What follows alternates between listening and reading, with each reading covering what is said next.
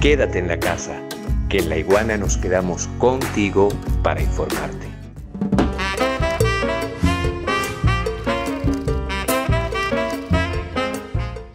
¿Qué es el R2P? Insisto, ¿qué es el R2P? ¿Por qué? ¿Por qué? Porque todas las acusaciones contra Venezuela tienen precisamente este trasfondo. R2P. De hecho, esta clase de acusaciones abona el terreno para promover internacionalmente que en Venezuela ocurren supuestamente violaciones masivas a los derechos humanos y que no existe el Estado de Derecho.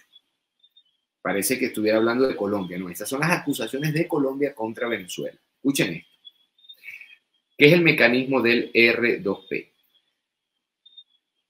Razón por la cual es necesaria una, abro comillas, intervención humanitaria, mecanismo de injerencia que se conoce con el nombre de responsabilidad de proteger.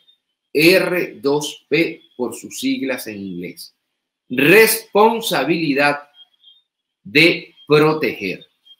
De hecho, eh, la abogada constitucionalista Ana Cristina Bracho dijo a la iguana.tv que el R2P es un concepto altamente cuestionado, pues además de socavar la soberanía, las veces que ha sido aplicado nunca se ha cumplido el principio de reconstrucción.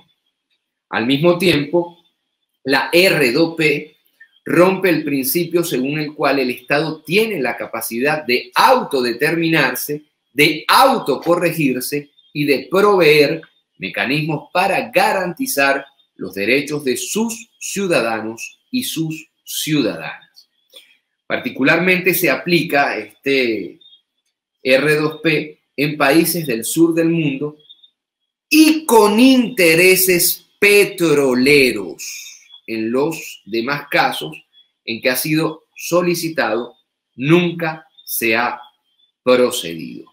Pero que sea la misma Ana Cristina Bracho que nos hable sobre este R2P y lo hace y lo hizo en nuestro programa de la iguana.tv cara a cara en entrevista con el maestro del periodismo venezolano Clodovaldo Hernández. Pido por favor a mi equipo de colocar este video del programa cara a cara. Adelante, por favor. En los países en los que ha sido aplicado, son países que tienen algunos El primer lugar en el que se habló abiertamente de esto, que fue el caso de Sudán, Sudán terminó partiéndose en dos. Tenía la característica de ser un país africano y ser un país petrolero. La responsabilidad para proteger suele ser aplicada a países del sur y petroleros, no aplicándose en otros conflictos en los cuales se ha solicitado, pues que no tienen estos intereses estratégicos o que están aliados, porque como es un concepto de presión, va a determinar de quién tenga la opinión pública favorable, la opinión diplomática quizás de esa comunidad internacional, eh, hacia dónde se aplique. Y si me lo permites, hay una frase que se utiliza en doctrina que es muy clara. La responsabilidad para proteger es una falacia, porque significa salvar de la asfixia estrangulando. Porque si yo tengo un país que sufre problemas de derechos humanos, hay crímenes de lesa humanidad, crímenes de guerra, procesos de limpieza étnica o incluso genocidio, no es por la vía militar y armada que la situación va a mejorar.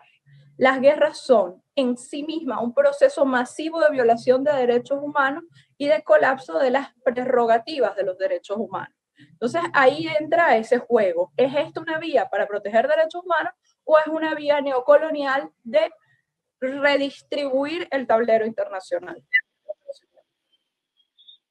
Antes de comprometerse a dialogar con el gobierno del presidente eh, Nicolás Maduro, el ala extremista de la oposición aquí en Venezuela, que está de más decirlo, es cercana al gobierno de Iván Duque y es amparada por Washington, insistió, oído al tambor, reiteradamente en la aplicación de este eh, mecanismo. No se trató pues solamente de un discurso vacío, pues este grupo eh, ha adelantado acciones concretas al respecto que incluyen denuncias ante la mismísima Corte Penal Internacional por supuestos delitos de lesa humanidad y la construcción de una matriz de opinión según la cual Venezuela padece una crisis humanitaria. Están sirviendo la mesa para aplicar este principio del R2P en Venezuela, no en Colombia, no en Colombia. Es, realmente eh, un mundo de hipocresía este en el cual vivimos, un mundo de hipocresía. La pregunta entonces del millón de dólares es la siguiente. ¿Se aplicará en Venezuela el R2P? En todo caso, eh, Bracho en esta entrevista precisó que el proceso contra Venezuela empezó en el año al menos 2018 con el relato, con la narrativa de la crisis eh, de refugiados. ¿Recuerdan ustedes? Los informes de la Agencia de las Naciones Unidas para los Refugiados, ACNUR, que se prestó para esta pantomima, y los reclamos de los países receptores aunados al posicionamiento de la noción de crisis humanitaria en Venezuela.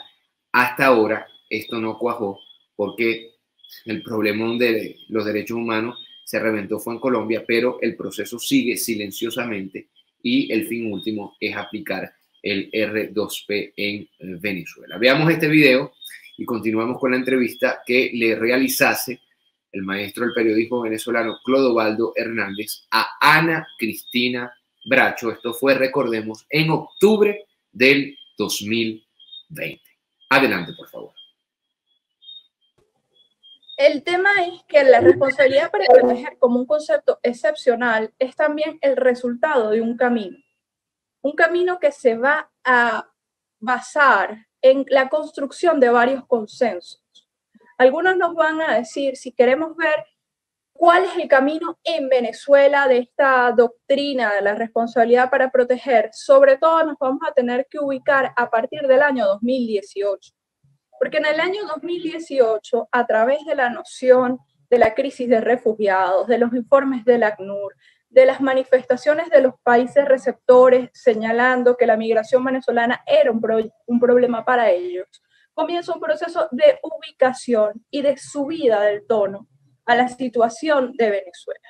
Entonces, eso que empezó en el 2018 con esa crisis migratoria, llega en la ubicación, en el imaginario de Venezuela, crisis humanitaria. Porque una crisis humanitaria es el resultado o de una situación sistemática de violación de derechos humanos, de una catástrofe o de una guerra. De hecho, la instrucción de este expediente en el que se pretende presentar a nuestro país Venezuela como un Estado violador de los derechos humanos continuó en 2020 con la publicación de diversos informes, tanto por parte de la correspondiente oficina de la ONU, la ACNUR, como de los así llamados expertos independientes, que de independientes no tienen absolutamente nada. Veamos la explicación en la voz de Ana Cristina Bracho. Adelante, por favor. Nosotros vamos a ver dos cosas. Un proceso que es el proceso de los informes Bachelet, que después de ese pico del 23 de febrero de 2019 y esos debates, recordemos que el Consejo de Derechos Humanos le da un mandato a la alta comisionada para que venga e investigue, por eso ella vino y hace continuamente actualizaciones de ese informe.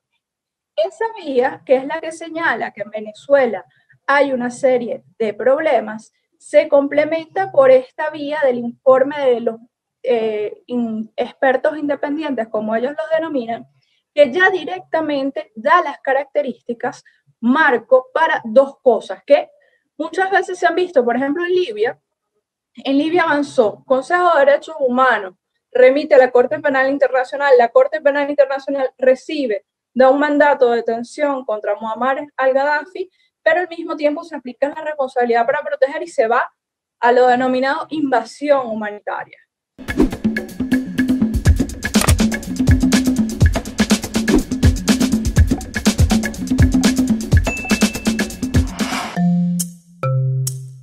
laiguana.tv. La verdad hecha tendencia.